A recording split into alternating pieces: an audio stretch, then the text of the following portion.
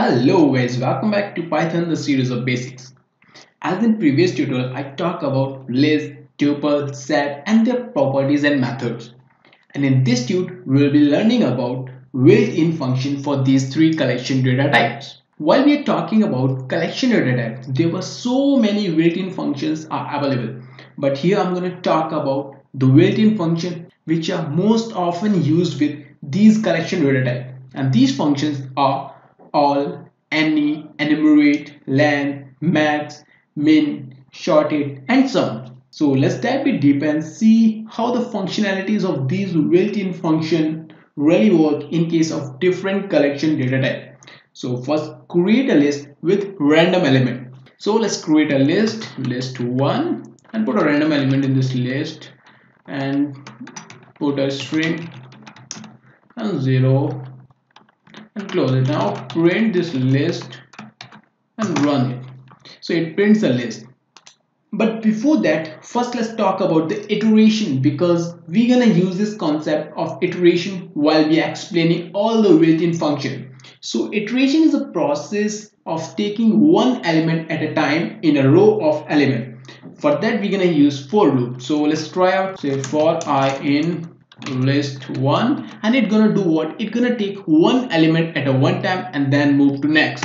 So let's print this and run it. See it prints one element at a time and then move to next and then print the next and same process goes for the rest one. So in this iteration we iterate through the list and print one element at a time and then move to next.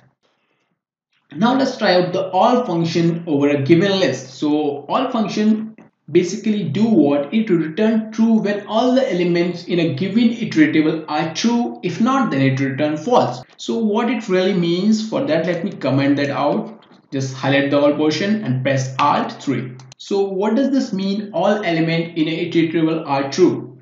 To understand that let's convert each element of a given list into its boolean form. For that we're going to use a bool function. And for that we create another list called list2 and it's uh, a empty list. And now what we're gonna do we're gonna iterate through this list one and we convert each and every element of this list one into its boolean form and then we append that element into list two. So let's do this and say for i in list one and we iterate through this list and then we say list two append. Through this we're gonna append the element into list two. Now we're gonna do what? We're gonna convert the i element into its boolean form. We say bool i and this way we convert the element into its boolean form. Then we append that element into a list. Now let's do say print list 2 and let's run it. See it outputs every non-zero element is true while the zero one is false so that's what the all function demands. So all function gonna return if every element in a list is true then it's gonna return true. While even a single element is false then it's gonna return false. And in this case it's gonna return what? False. So let's do this say print all and then list and run it. It's gonna return false. I'm damn sure. So see it returned false. And now if we remove that zero element in from our list. Now it's gonna return true. So this is all about all function and it's going to return true when every element in our list is true while even a single element is false it's going to return false.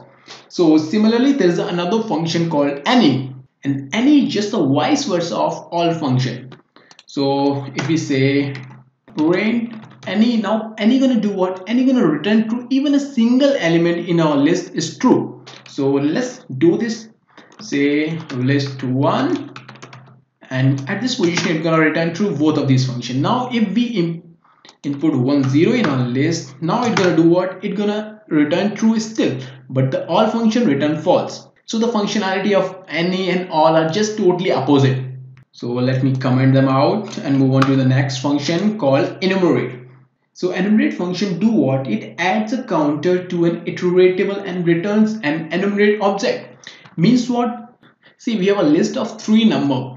If we run enumerate function over this list now it's gonna do what? It's gonna add a counter to this list. Means it's gonna add a number to this list and it suggests that this number is present at this position and it's bit similar like indexing. So when we run an enumerate function over this list and it's gonna do what? It's gonna say zero it at this position and first one and second one. So this counter is added to all the element of this list so let's run it and try to see what really happened. So let's say print enumerate and say list 1 and let's run it. It's gonna return an enumeratable object. See it is an enumerate object at this position. Now if we want to convert this enumerate object into a list tuple or set then we have to be use its method. And so those methods like list and uh, tuple and set. We're gonna use these three methods and we'll convert that to enumerate object into a particular data type. So let's convert that particular enumerate into a list. And before that we say let's assign a new variable to that. Say new new equivalent to this and let's remove it. Now we're gonna do what? We're gonna apply a list to that new variable. So we say that to print list and new see the counter is added to each element. So we're gonna do what? Here you see that counter is begins from zero. And this is by default. We can change it. And for that we have to be say generally enumerate function accept two parameter. One is iteratable and another one is start. And for that we say from where we want to start. If we specify nothing then by default it start from zero. Now if we say one then it's gonna count from one like one two three four five. So let's run it and see the counter begin from one two three. It will change from first position to second position. There's a thing that uh, we can do one thing is that we can't directly print the enumerated object but we can iterate through it. So say for i in new and now we're gonna do what? Print i. So let's run it see the iteration of each element is been done. So there's a counter added to that element and iteration has happened one element at a one time. And the next one in the row is length. So let me comment that first. So length is a function which tells about the length of a particular string. So we say print len and list one and now it's going to return what? It's going to return the length of a list says five so it's really helpful when we are dealing with a large string and at that time we really want to know the length of a particular string. And we already talk about this function a lot so let's move to the next one and that one is max. So, so let me comment that. And max is a function say max. And max is a function through which we get to know about the maximum value present in our list. So we say print max and we want to maximum value of list 1 and let's run it so it outputs oh there's a string is present. That's why it's showing continuously error so let's remove that string because it's not an integer. So let's put a one more integer say 45 and now run it. So it says that 45 is the maximum value in a list. And similarly there's another function called min through which we get to know about the minimum value present in our list. We say print min list 1 and let's run it. And it says 0 is the minimum value present in our list so and these functions are really helpful when we directly want to do the maximum and minimum value. So we use this function and we'll find the minimum and maximum value present in our list. So let's comment that out. And the next one in the row is sorted so sorted function gonna do what? It sort the list of a given iteratable. So we say print and sorted and we want to sort the list one and run it. See the whole list is now sorted in an ascending order. Means 0, 1, 2, 45. All the elements are arranged in an ascending order. Now the question came around what is the difference between sorted built-in function and a short method that we already used in a previous lecture. Now after sorting let's print the list 1 again. Print list 1 and run it see the list 1 is not sorted it is present in its present form that's the difference between sorted and short. so let me show you what i mean now if i run a short method after that say print and list 1 dot short and now run it. So it's gonna print none because the whole list is not sorted and it's present in a different order.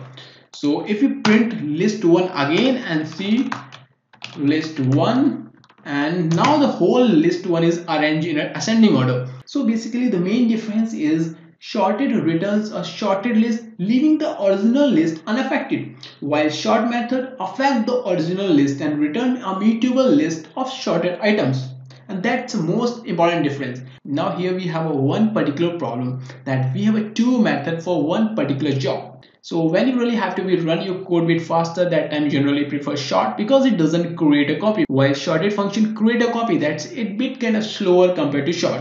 And the next function in the row is sum so if we want to return the summation of all element present in our list for that we're going to use sum function so we say print sum and say list 1 and run it. See the sum of whole list is 53 so this is how all the built-in functions are work in case of list. Now the way we perform all these built-in function in case of list we're to try out all those in case of tuple and set and for tuple we just replace the square bracket with a round bracket and it's a tuple. So say this for a moment just don't replace the name or the name of variable from list to tuple just because otherwise we really have to change all the names from top to the bottom. So we let it that way but it's a tuple. So let's run it and see. It's a tuple. 1 2 5 0 4 2 5 all the elements are now in tuple. Next we're gonna run an all function in a tuple.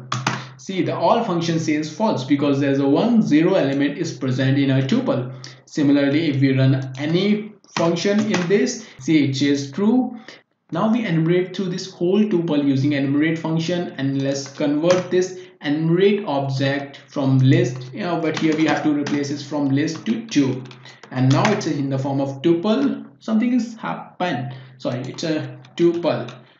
Now it's converted in the form of tuple and all the counters are attached to each of the element.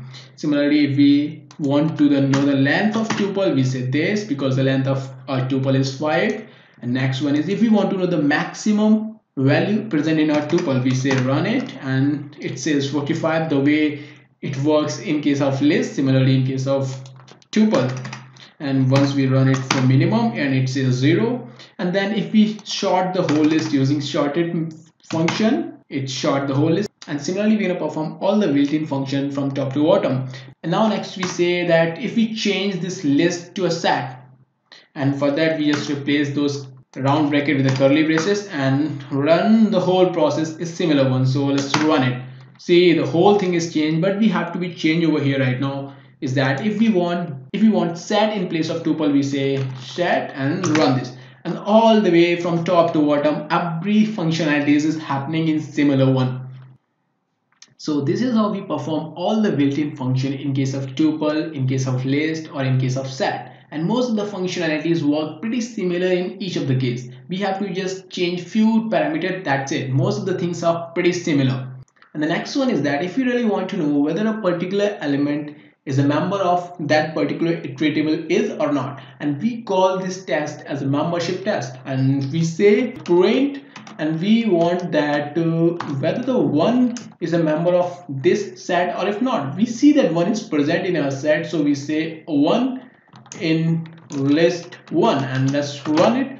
It's gonna print true oh wait a minute. Let me comment the other section. So now run it and it says true because one is a member of that particular set. And if we want to know that uh, we say a random number called 34 and we want that this number is a member of that set or if not. No it says false. Similarly we can perform the all things using list and tuple. So let's convert the set into a tuple or list and run it and all the thing goes very similar way. So this is how we perform functionalities and try out membership test over and tuple and set and one advice from my side is that guys please try out all those code by yourself because you cannot learn anything by just reading. You really have to practice it a lot. So try out by yourself. And thanks for watching. See you in the next video